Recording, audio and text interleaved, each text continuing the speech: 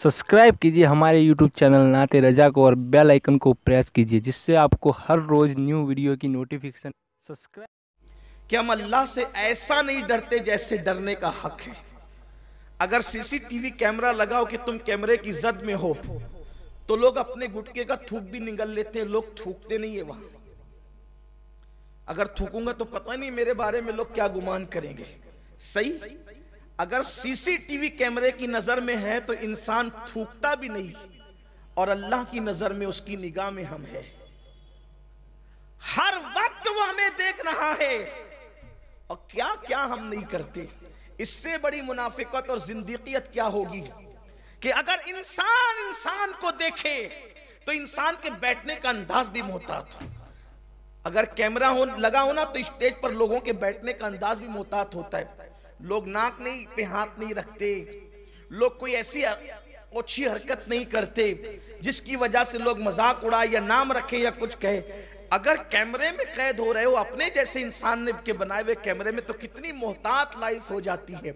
और कुदरत की निगाह में, बल्कि कुदरत के कैमरे के अंदर कैद हो रहे हैं, और वो भी लिखा जा रहा है, रिकॉर्ड बन रहा है, सब कुछ हो रहा है। लेकिन कितनी गैर मोहताज ज़िंदगी, कितनी गैर मोहताज कभी हमने तस्वुर भी किया इसका। अल्लाह हमें देख रहा और सबको देख रहा है।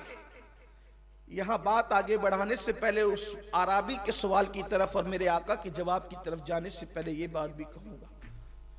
दूसरों के देखा देखी अल्लाह को मानने वाली कौम के हालात भी बदलते जा रहे हैं।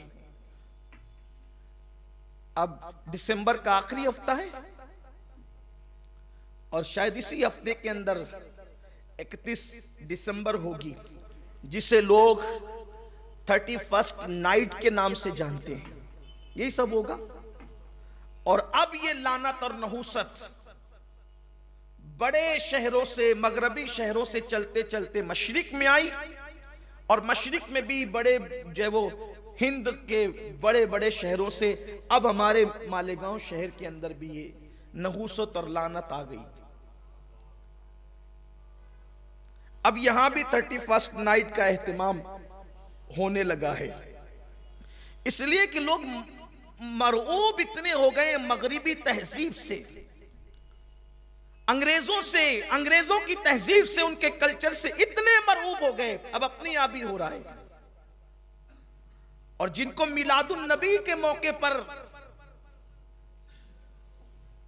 जो बेचैनी रहती थी शिरक और बिदत के फतवे देने की इस वक्त वो कुछ कहने के लिए तैयार नहीं। जबकि यही थर्टी फ़र्स्ट नाइट का मौका है। शराब, जिना लिवातत बदकारी, बदफेली, डांस, बारों का आबाद किया जाना, पैसों का लुटाना, पैसों का जाय करना, ये सब कुछ हो रहा है। बल्कि अभी तो हमारे शहर माले गाँव के एक बुरका फरोश ने, बुरका मेकर ने अखबारात के अंदर मजमून शाये किया, शाये करवाया, उसने मजमून लिखा। मजमून का खुलासा यह है कि हमारे शहर के बुरका फरोश के पास जो लड़कियाँ या उस, उसका नुमाइंदा बुरका सिलाने के लिए ले जाता है, वो थर्टी फ़र्स्ट नाइट से पहले बुरके का मुतालबा करता है। और उनका कहना यह है उस बुरका फरोश का कहना यह है कि यह सिलसिला बरसों से चल रहा है।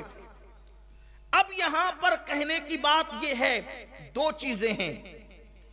एक तो यह कि अगर थर्टी फ़र्स्ट नाइट के लिए बुरके सिए जा रहे हैं तो कहीं ऐसा तो नहीं कि मुस्लिम बेटियाँ भी थर्टी फ़र्स्ट नाइट में शरीक हो रही है।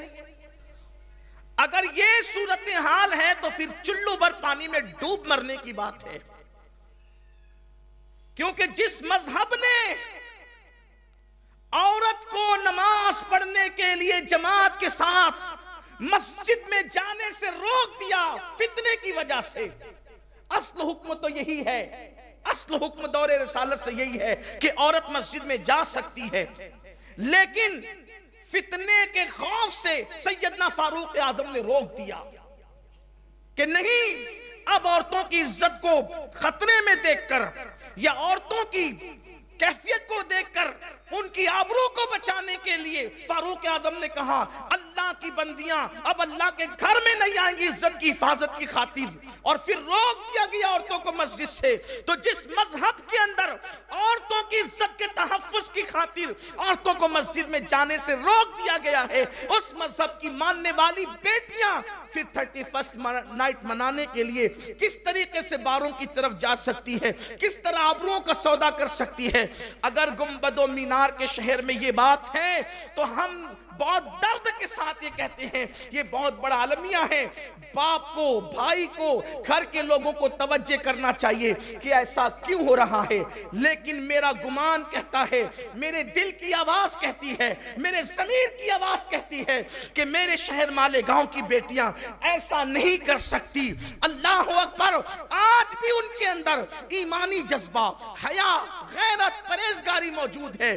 तो फिर ऐसा क्या हो रहा है? तो बात यह है, जो लड़कियाँ मजहबी है, जो लड़कियाँ मसलकी है, जो लड़कियाँ मशरबी है, यानी दीन धर्म मसलक मज़हब से जिनका ताल्लुक है, वो कतान ऐसी नहीं है, बल्कि वो लोग, जो जराइम पेशा लोग हैं, वो बुरके को बदनाम करने के लिए, या जो मुशरकिन हैं, जो लोग जिनका इस्लाम से ताल्लुक नहीं है, वो लोग बुरके को बदनाम करने के लिए जब जिना के अड्डों पे जाते हैं तो बुरके पहन करके जाते हैं। जब वो जिना के अड्डों पे जाते हैं तो बुरके के साथ जाते हैं। उसकी वजह यह है कि बुर दो, एक तीर से दो शिकार हो जाए, एक तो उनका चेहरा बच जाए, और दूसरा ये कि बुरका पहनने वाली बच्चियाँ बदनाम हो जाए। अब ऐसी नाजुक सूरत हाल में बुरके वाली की इज़्ज़त भी बच जाए, और ये जराइम पेशा लोग बेनकाब हो जाए तो उसके लिए करना क्या चाहिए?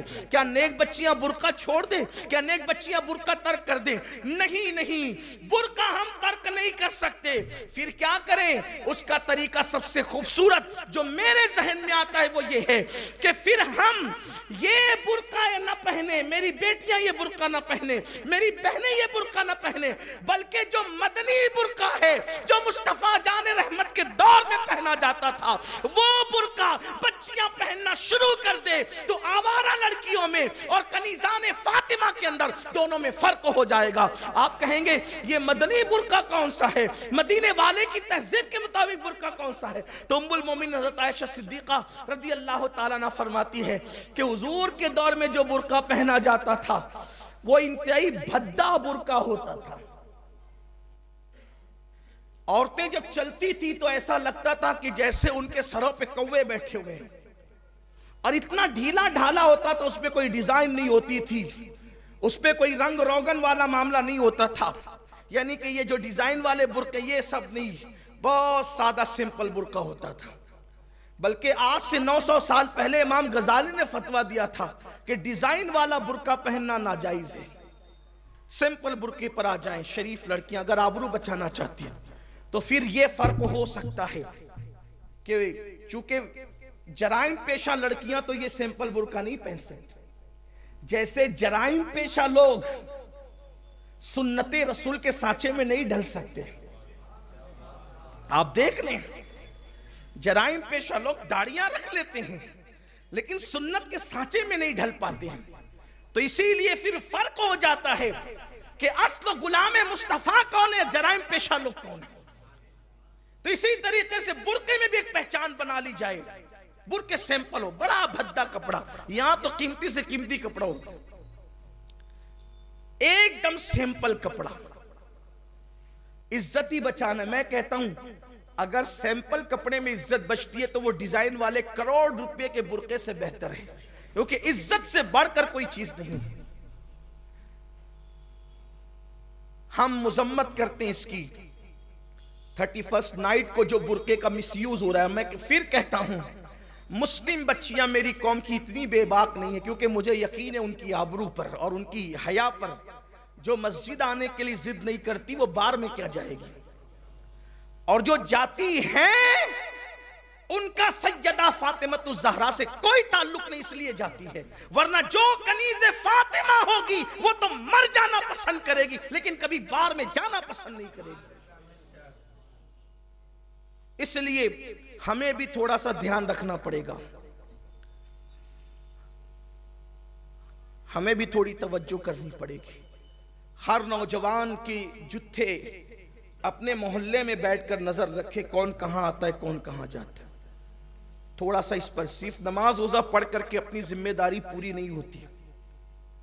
ये जो इदारे बना बना रखे ना मोहल्लों के अंदर, ये सिर्फ़ रात के तीन तीन बजे तक पड़े रहकर के औंधे पड़े रहकर टीवी देखने के लिए नहीं है। ये जो मोहल्ले के इदारे कलबे हैं ना, इनको अपना काम करना चाहिए।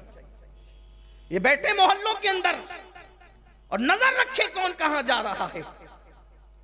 और अगर किसी के कदम गलत तरफ़ उठते देखे तो उसके माँ बाप को तंबी करें, अगर मोहल्ले में रहना होगा तो मुस्तफ़ा जान रहमत के कानून के मुताबिक ज़िंदगी गुजारना होगा। और मुस्तफ़ा जान रहमत का कानून क्या है? किसी मुल्क के खिलाफ कानून नहीं है। मुस्तफ़ा जान रहमत का कानून है, औरत की इज़्ज़त की हिफाजत। एक दूसरे की इज़्ज़त की हिफाजत, एक दूसरे के वक़ार की हिफाजत। हलाल रोजी ये उनका कानून है। वल्लाह, कोई सच्चा मुल्क मुस्तफ़ा जान रहमत के कानून का कभी मुखालिफ नहीं हो सकता। इसलिए कि उनका कानून तो पूरी कायनात के लिए। और इतना खूबसूरत है। सुबह उठना, जल्दी उठना उनका कानून है, पूरा लिबास पहनना उनका कानून है, गरीबों की झोली भरना उनका कानून है मुस्कुरा कर लोगों के दिल जीतना उनका कानून है, लोगों का बोझ उठाना उनका कानून है, खुद भूखे रह के दूसरों को खिलाना उनका कानून है, खुद पेट करना उनका कानून है। गरीबों को माला माल करना उनका कानून है। बेटियों की आबरू बचाना उनका कानून है। बेटियों के सर पे शफकत का हाथ रखना उनका कानून है। बेटी आ जाए तो इस्तेकबाल के लिए खड़े हो जाना उनका कानून है। यही सब तो उनका कानून है, और क्या है? बल्कि उनका कानून तो यह कि तेरी सीरत, तेरी सूरत जमाने से निराली है। तेरी हर हर अदा प्यारे दलील बेमिसाल। अगर मेरी बहनों तक ये पैगाम पहुँच रहे तो उनसे भी कहता हूँ, अगर कोई इस बला से सरसार है अगर कोई इस बला में सरसार है और इस बला से सरसार है तो उससे कहता हूँ, खुदा के लिए जवानी में रंगरेलियाँ मत करो। एक दिन इस बदन पे झुर्रियाँ भी पड़नी है। एक दिन ये बदन कब्र में भी जाना है। अगर कोई अपने हुस्न की नुमाइश करने के लिए और हुस्न को रोकड़ा करने के लिए तैयार है तो उसको मालूम होना चाहिए कि अल्लाह का अजाब बड़ा सख्त है। इन बदशरबी कल शदीद तेरे रब की पकड़ बड़ी सख्त है। और जिन मर्दों की तरफ़ जेवर और दौलत और बाइक पर घूमना और पार्कों में घूमने की लालच में अगर कोई कौम की बेटी किसी का हाथ पकड़ कर जा रही है तो उसको मालूम होना चाहिए कि मर्दों का हाल गुलिस्ता के भौरों से भी ज़्यादा खुद गर्ज है। भौरा एक मरतबा फूल का रस चूस करके जब भाग जाता है तो दोबारा कभी उधर का रुख भी नहीं करता। ये याल मर्दों का भी। अगर किसी ने कह दिया कि मैं तुमसे प्यार करता हूँ तो वहाँ ढेर हो जाना। ये कोई अकलमंदी और दानिशमंदी नहीं है। ऐ कौम की नादान बेटियों! अगर किसी के एक जुमले पर कि मैं तुझसे प्यार करता हूँ, ढेर हो जाना। सबसे बड़ी गैर दानिशमंदी का काम है, क्योंकि वो एक ही जुमले पर आपका पूरा रस निचोड़ने के लिए तैयार है। आपकी जवानी लूटने के लिए तैयार है, आपकी आबरू लूटने के लिए उससे सवाल तो करती कि अगर वाकई उसके दिल में इतना दर्द भरा और प्यार भरा दिल होता तो वो अपनी दूध पिलाने वाली माँ से प्यार क्यों नहीं करता? वो उंगली पकड़कर चलाने वाले बाप से क्यों प्यार नहीं करता? वो दूध शरीक बहन से क्यों प्यार नहीं करता? जो बदबख्त और कम वक्त इस कदर हवस परस्त हो कि वो अपनी दूध पिलाने वाली माँ से प्यार ना कर सके, वो तुमसे क्या प्यार कर सकेगा?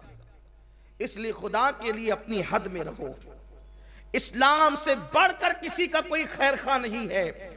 इस्लाम से बढ़कर के कोई तहफुज फराम नहीं कर सकता। इस्लाम से बढ़कर कोई आबरू को तहफुज नहीं दे सकता। इसलिए अगर कोई बुरके को बदनाम करना चाहता है तो हम बुरके को तो बदनाम नहीं होने देंगे। जैसे दाढ़ी बदनाम नहीं होने दी। एक वक्त था कि लोग दाढ़ी को टारगेट कर रहे थे, लेकिन आज आ गए वही।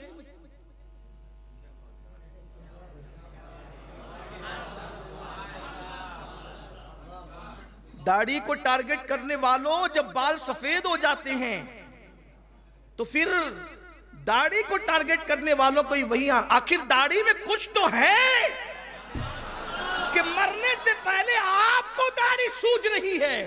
दाढ़ी में कुछ तो है। अगर दाढ़ी दहशतगर्दी की अलामत होती तो फिर बुढ़ा में बुढ़ापे में आपको क्या सूझा? पता चला दाढ़ी में कुछ तो है। ये दाढ़ी की बात बड़ी गाड़ी है।